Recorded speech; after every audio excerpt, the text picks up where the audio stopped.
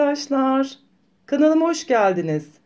Bugün sizler için hem çok sevdiğim bir arkadaşımın e, isteği üzerine, e, onun tavsiyesi üzerine e, hem de kışa damgasını vuracak şahane, örmesi hem çok kolay hem de görenlerin çok beğeneceği, modelin nereden yapıldığını soracak çok güzel parmaksız kullanışlı bir eldiven hazırladım arkadaşlar. Öncelikle e, her telden Gülsüm kanalını takip etmenizi istiyorum. Gülsüm arkadaşımız aynı zamanda meslektaşımız oluyor.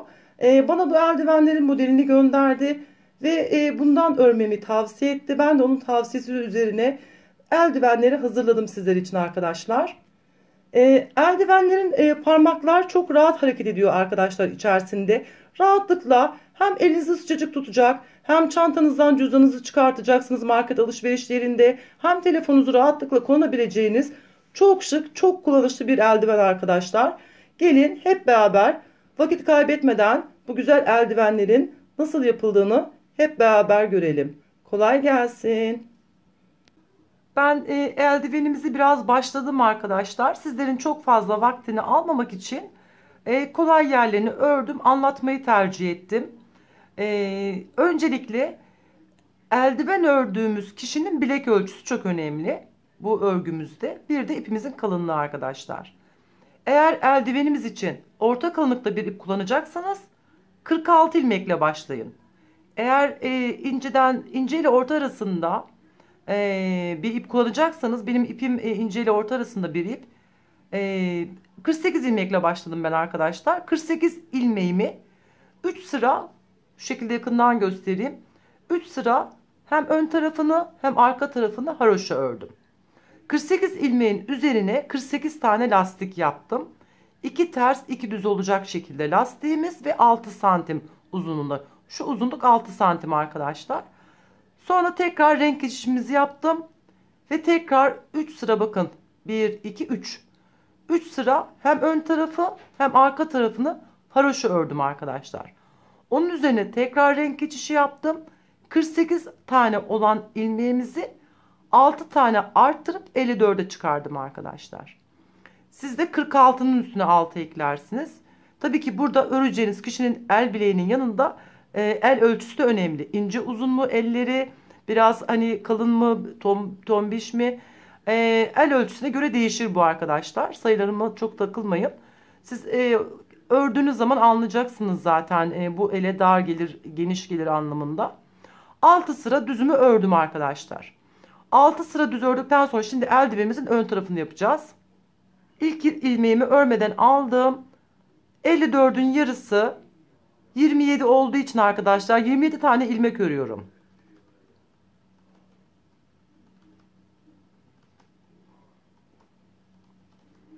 Yirmi yedi tane düz olarak ilmeklerimi örüyorum arkadaşlar.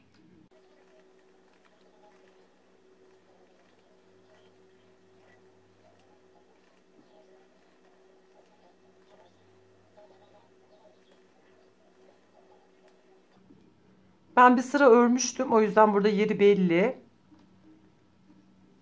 Siz de ikinci sıranızı örün. Ee, bir sıra 27 tane örün. Arka tarafı haroşa örün. Tekrar 27 tane örün arkadaşlar. Geriye dönüyorum.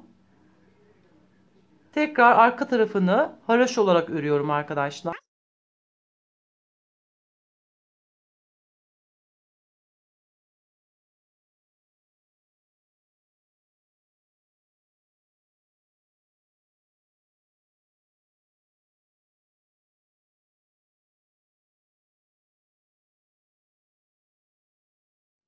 ...27 tane ilmeğimi ön tarafı düz... ...arka tarafı haroşa olacak şekilde... ...iki sıra ördüm arkadaşlar. Artık bundan sonraki etapta... ...bir bir kesmemiz kalıyor. Ama ilk etapta iki tane birden keseceğiz arkadaşlar. Şimdi keserken... ...iki ilmeğimi birden aldım... ...bir kesmiş oldum. Şu şekilde iki ilmeği birlikte alıp... ...içinden ilmek geçirdiğiniz zaman... ...kesme işlemi yapmış oluyoruz. Ben şu an burada iki tane ilmek kesmiş oldum. Tekrar sıra sonuna kadar 27 tane örüyorum. Geriye dönüyorum. Bu sefer bir bir keserek 27 tane e, ilmeğimiz arkadaşlar 12 tane ilmek kalıncaya kadar bu şekilde devam edelim. Tekrar görüşelim. Kenarlardan bir bir keserek 12 ilmek kalıncaya kadar ördüm arkadaşlar. Şimdi bu sırayı diğer tarafa kadar kesme yaptığımız yere kadar yine arka tarafı haroş olarak örelim.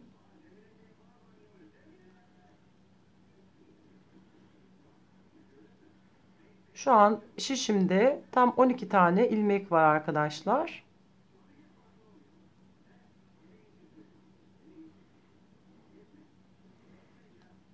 Şimdi bu kenarı bu şekilde geldik ya bir bir keserek. Şimdi tam tersini yapıyoruz. Bir bir arttırarak bu şekilde gidiyoruz arkadaşlar. Ee, ben arttırma işlemini şu şekilde yapıyorum. Sizlerin hani e, başka bildiğiniz yöntem varsa o yöntem ve teknikle de yapabilirsiniz. Bir tane aldım. Başını doluyorum ve sonraki ilmeğimi örüyorum arkadaşlar. Burada bir arttırmış oldum. Yine e, sıra sonuna geldikten sonra örgümün arka tarafını sadece haroş olarak devam ediyorum. Hep ön tarafta ilk ilmekten sonra bir arttırma yapıyorum arkadaşlar. Nasıl bir bir keserek ilmek sayımızı 12 indirdiysek şimdi birer arttırarak her sırada e, başta örgümüzün başında bir bir arttırarak e, 27 ilmeği yeniden tamamlıyoruz arkadaşlar burasını. 27 ilmek oluncaya kadar örün tekrar görüşelim. Bir bir kenarlardan arttırarak ilmek sayımızı 27'ye çıkardım. 27'ye ee, çıkardıktan sonra şurada yeri bellidir. Şuradan itibaren 4 sıra 27 ilmeğe hiçbir işlem yapmadan ön tarafı düz arka tarafı haroşa arttırma ve eksiltme işlemi olmadan sadece 4 sıra ördüm ve ipimi kestim arkadaşlar. İpimi bu sefer geri kalan 27 ee, ilmeğimizin olduğu yere e, bağladım arkadaşlar. Şimdi bunda e, sadece tek taraftan keserek 12 ilmeğe getirmiştik. Bu sefer hem buradan hem buradan bir bir keserek her iki taraftan da ilmek sayımızı 12'ye düşüreceğiz arkadaşlar. Şöyle ikisini birlikte alıyorum. Şöyle iki ilmeğimi birden aldım ve kesmiş olduk. Bir tane ilmek kestik arkadaşlar. Sıra sonuna kadar devam ediyorum. Ön tarafı düz, arka tarafı haroş olarak yapacağız yine bu tarafı da.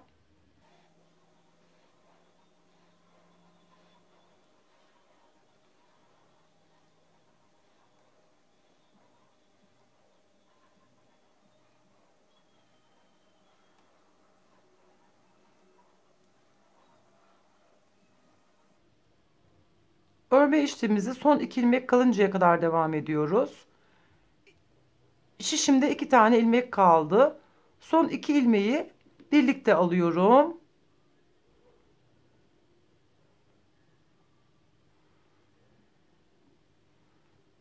Ve bir tane de bu tarafta kesmiş olduk. Geriye dönüyoruz.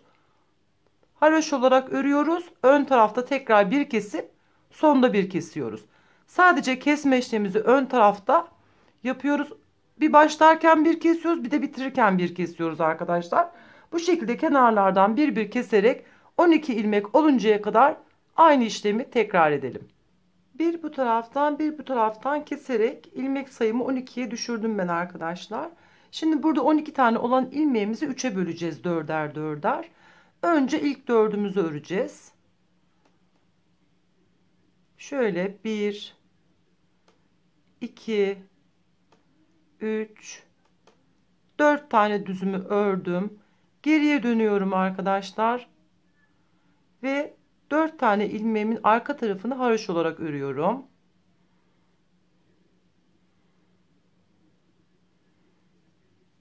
Dört tane haroş ördükten sonra tekrar geriye dönüyorum. 4 tane düz örüyorum. Tekrar 4 tane ilmeğimi.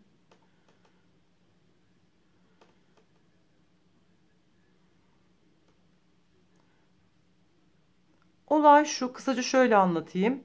Bu 4 tane ilmeğimizi yaklaşık bir 6,5 santim oluncaya kadar e, tane örüyoruz.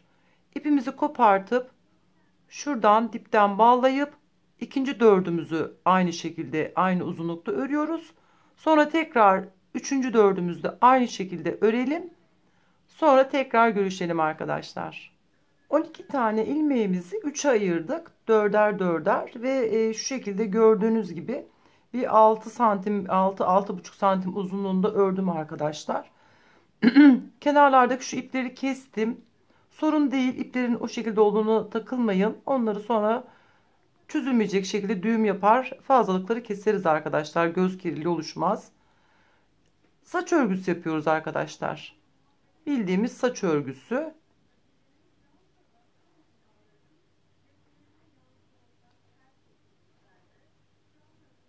Şöyle güzel muntazam duracak şekilde saç örgümüzü yapıyoruz yapabildiğimiz kadar arkadaşlar. Yaklaşık şu şekilde oldu. Ve sonra şu şekilde elimizde tutup sırayla ilmeklerimizi geçiriyoruz arkadaşlar.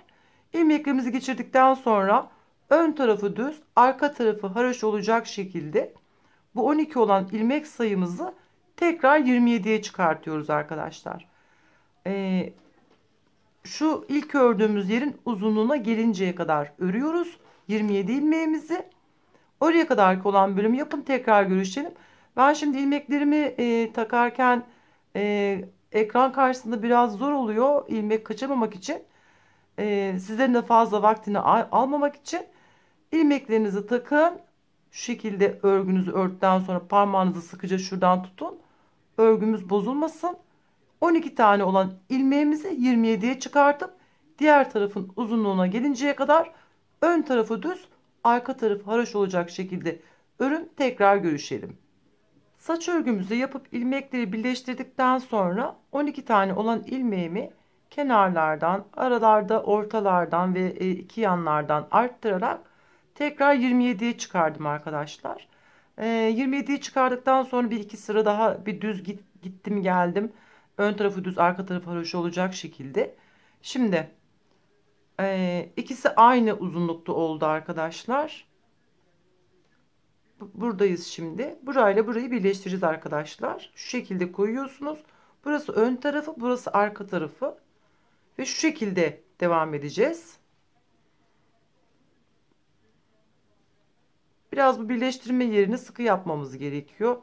Arada boşluk olmaması için düz yapıyorduk zaten. Aynen bu tarafta düz olacak şekilde. Düz örmeye devam ediyoruz arkadaşlar bu sıramızı.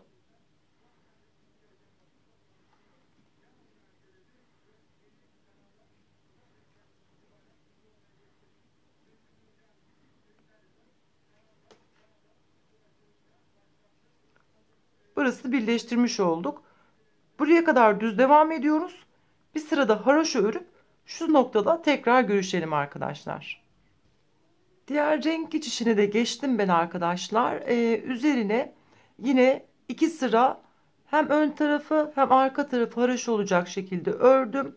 Ve e, örgümü burada sonlandırdım ipimi keserek. Şimdi e, patiğimiz, ay patik diyorum eldivenimizin iç tarafına geldi arkadaşlar. İç tarafı için şöyle yakından göstereyim. Şu e, haroşa yaptığımız bakın dikiş yerleri gibi olan yerler var ya ön tarafta gözükmüyor. İç tarafta kalan yerlerimiz. Koyu renkli ipimi buraya taktım. Ve buralardan ilmek çıkartacağız arkadaşlar. Bakın şuralardan. Yakından göstereyim. Şuralardan. Zorlanırsanız eğer bir tığdan da e, yardım alabilirsiniz tığ yardımıyla ilmekleri çıkartmanız daha kolay olabilir. Bu şekilde e, lastiğin sayısında buradaki sayı 48 tane çıkacak. 48 tane olan ilmeğimizi yine 54'e çıkartın arkadaşlar. Bir sıra bu şekilde ilmek çıkarttıktan sonra bir düz örün. Sonra bu sayı 54'e çıkartın. Ve e, yaklaşık 6 santim uzunluğunda e, ön tarafı düz arka tarafı haroş olacak şekilde yani şöyle diyeyim. İç tarafı bu tarafa bakacak olan ters tarafı haroşa olacak. Örgümüzün ön tarafından gözükecek olan kısmı düz olacak şekilde 6 santim uzunluğunda o şekilde örün arkadaşlar. Tekrar görüşelim.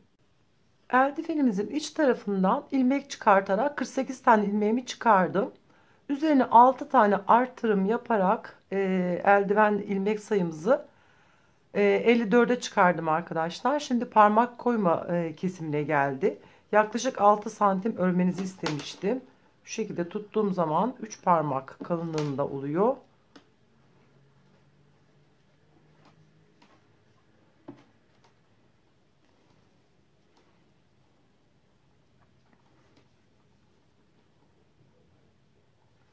Şimdi 27 tane düz örüyoruz.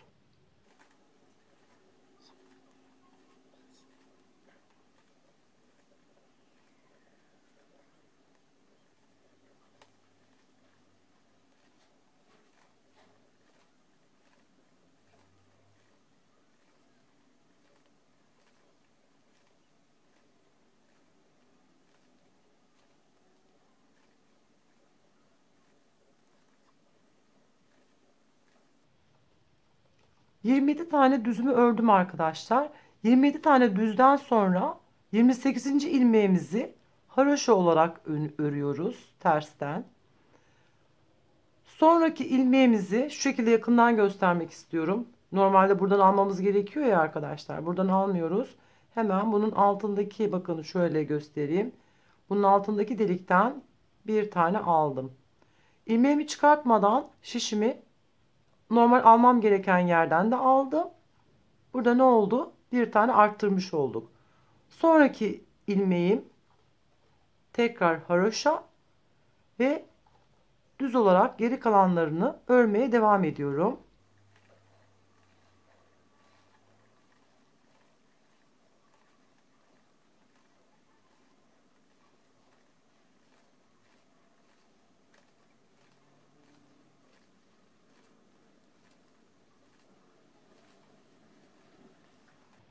Örgümün arka tarafındayım arkadaşlar. Arka tarafı az önceki işlem yaptığımız yere kadar haroş olarak örmeye devam ediyoruz.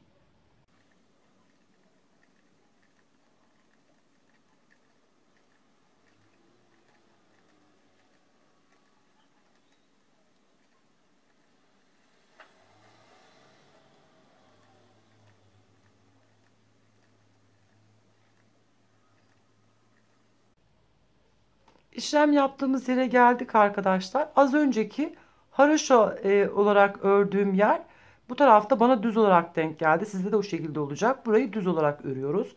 Bu ön taraftan her zaman haroş olarak gözükecek. Şimdi arttırım yaptığımız yerlere geldik.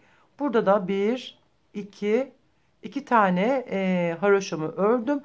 Ve ilk yaptığım haroşanın olduğu yere geldim. Orayı da düz olarak ördüm. Ve geri kalan ilmeklerimi sıra sonuna kadar haraş olarak örmeye devam ediyoruz.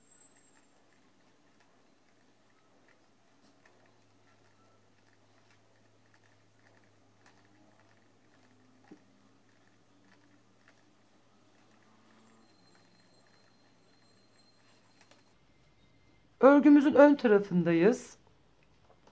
İşlem yaptığımız yere kadar 27 tane olan ilmeğimizi yine düz olarak örmeye devam ediyoruz.